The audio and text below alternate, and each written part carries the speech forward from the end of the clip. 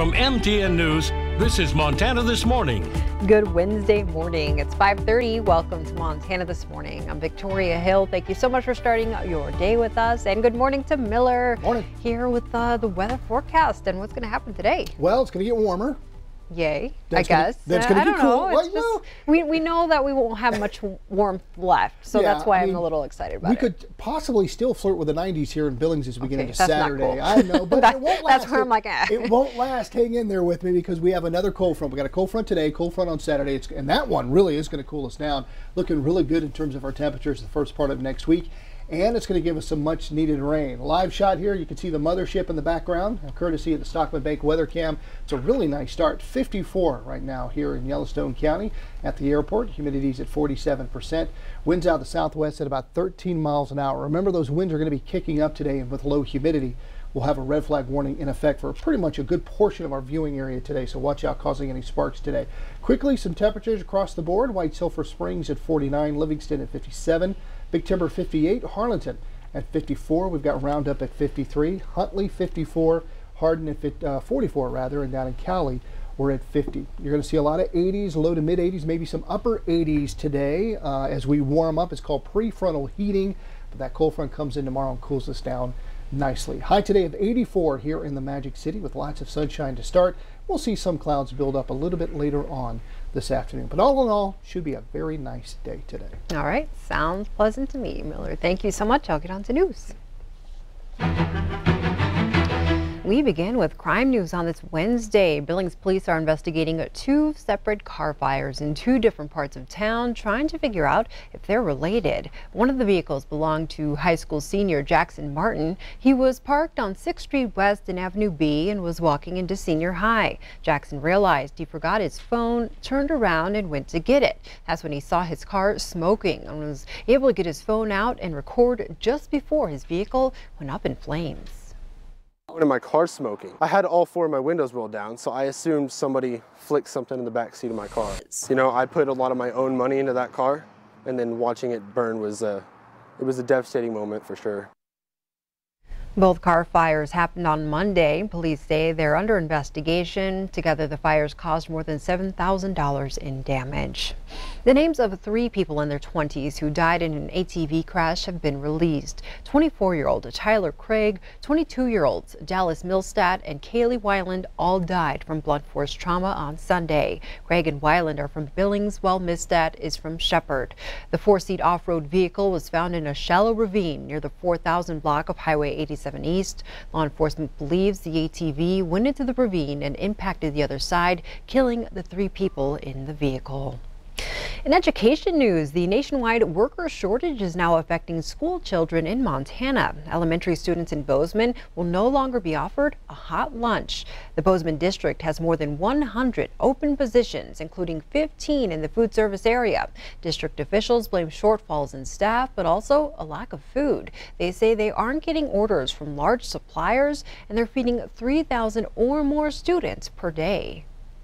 We are uh, in, a, in a tough spot as far as food service goes. This week we cut back and just are doing sack lunches. They're they're compliant. They meet all the nutritional requirements. They're free as were hot lunches. But we've cut back at four of the elementary buildings um, and just to a sack lunch service. The other four K5 buildings will go to sack lunch service um, completely um, this this coming week. The Bozeman district staffing issues are seriously impacting their special needs students. Schools are still searching to fill 15 special education paraprofessional positions.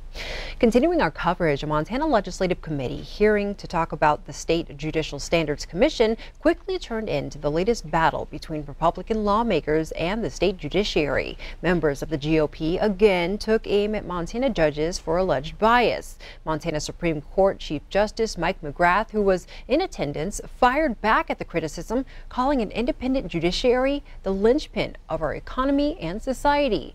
But some Republicans took issue with comments he made in the past, calling their proposals to create a citizen panel that could remove judges the end of democracy.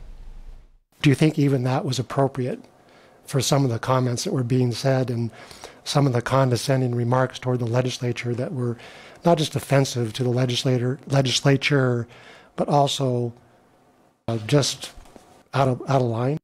It just meant that if there was a mob that was mad about something uh, that a judge had decided, they could uh, remove that judge from uh, office, even though the judge is elected by the people. And yes, that is the first step in the uh, demise of a democratic system. The bill that proposed the Citizen Commission was killed during the 2021 session. A legislative committee will continue its study of the current system that allows complaints to be filed against judges. Over in Butte, the Lloyd Barrus trial continues today. Yesterday, the jury heard emotional testimony from a police officer who was in hot pursuit of Barrus moments after Broadwater County Sheriff's Deputy Mason Moore was gunned down. The officer said gunshots were flying in his direction as he followed the Barrus vehicle down I-90 at speeds over 100 miles per hour. A bullet even penetrated the patrol car of his fellow officer, Rich O'Brien. He testified that he didn't realize how close to death he'd come until after the chase ended. Uh, in the moment, I really didn't feel much of anything. It was more of you're in the chase, the adrenaline's going. Uh, afterwards, after I had a chance to talk with Richie, told him to call his wife. Because uh,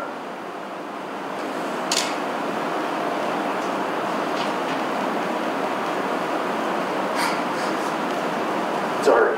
Because She didn't want to find out on Facebook. Lloyd Barrus is on trial facing felony charges of deliberate homicide by accountability in the 2017 shooting death of Broadwater Deputy Mason Moore. He also faces two counts of attempted deliberate homicide for his alleged role in shooting at pursuing officers during the chase. And topping national headlines this morning, it looks like Gavin Newsom will remain governor of California. Exit polls and early voting numbers show voters rejecting his recall by nearly a two to one margin. CBS's Anthony Pura has more. California Governor Gavin Newsom appears to have beaten back an effort to recall him from office. The outcome of the race was projected in his favor less than an hour after the polls closed. I'm humbled and grateful to the millions and millions of Californians that exercise their fundamental right to vote. Early returns showed roughly two thirds of voters opposed the recall effort. A final count is expected to take days to complete because of the high number of mailed in ballots. No is not the only thing that was expressed tonight. Uh, I want to focus on what we said yes to as a state.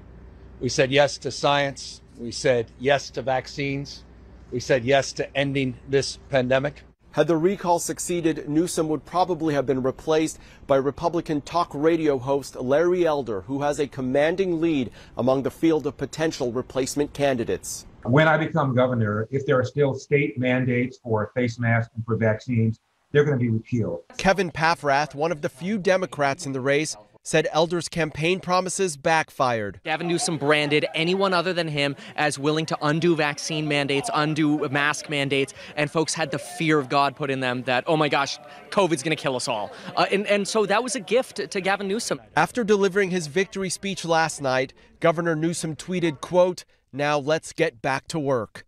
Anthony Pura, CBS News, Los Angeles. Newsom could face Elder again in the not too distant future. The governor is up for re-election next year, and the primary, which puts candidates from all parties on one ballot, is just nine months away. The Department of Justice wants the courts to stop enforcement of the new Texas law banning abortions after six weeks. The DOJ injunction says the law prevents women from exercising their constitutional rights. The filing also says the United States has the responsibility to ensure Texas cannot isolate itself from judicial review of constitutional violations. The case is likely to end up in front of the Supreme Court. Last week, the Department of Justice also filed a lawsuit against the state of Texas to challenge the abortion law. South Korea says North Korea fired two ballistic missiles today. This comes just two days after North Korea claimed to have successfully tested a newly developed long-range missile. Japan's Coast Guard says today's missiles landed in the waters between Japan and the Korean Peninsula. U.S. Command said they're still evaluating information about the launch.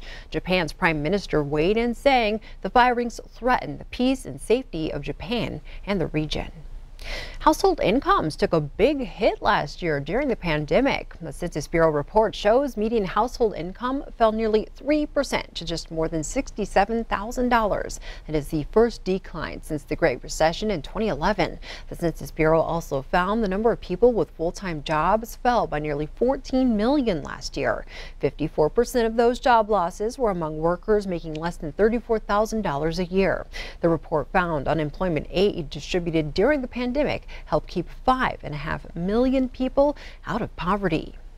A day after Nicholas came ashore as a hurricane, the storm is now a tropical depression. It's tracking slowly northeast into Louisiana, where heavy rain has already arrived. Areas hit by Ida two weeks ago are bracing for another six to eight inches of potential rain. Nicholas lashed Texas with gusts of up to 95 miles per hour yesterday. Storm surge and rain swamped coastal communities like Galveston, which saw nearly 14 inches of rain. Across Texas and Louisiana, more than 5 million people are now under flash flood watches and 200,000 are without power. Thank you so much for starting your day with us here on Montana this morning.